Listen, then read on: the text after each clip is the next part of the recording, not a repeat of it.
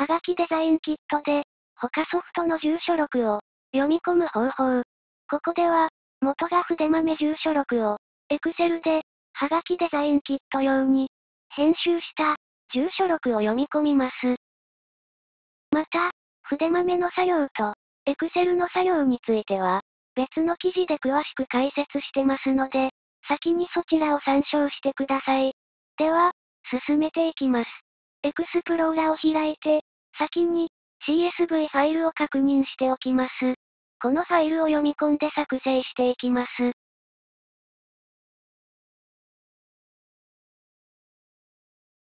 この例では、ドキュメントの筆豆フォルダに入っています。はがきデザインキットを起動します。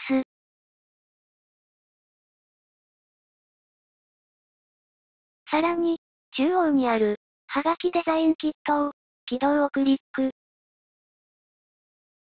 ここは、縦書きをクリックしてますが、任意で OK です。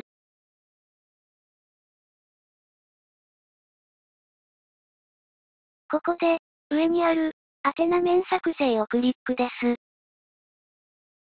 この画面では、上にあるメニューから、住所読み込みをクリックです。ここでは、CSV の読み込みをクリックします。保存場所の選択画面出るので、場所を指定して、CSV ファイルを選択して、開くをクリック。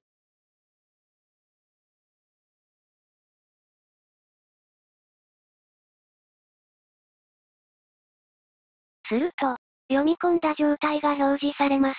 しかし、氏名とか名は、左右が合ってますが、郵便と住所が合ってないので、合わせていきます。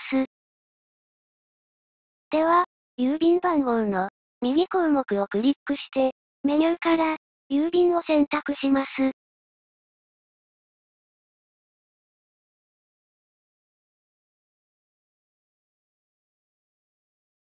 同じく、住所の右項目をクリックして、メニューから住所、都道府県をクリックです。これで、左右が合いましたので、下の、OK をクリックです。作業が開始されましたので、ここは、待ちます。件数が多いと、時間かかります。完了すると、このように一覧が表示されます。これで、完了ですが、一応、宛名カード面で確認してみます。まず、カード選択しないと、表示されないので、左のすべて選択をクリックして、宛名面の印刷をクリックです。この確認も、クリックです。このように、宛名面が表示されるので、確認できます。さっと見てみます。また、ここは、見るだけです。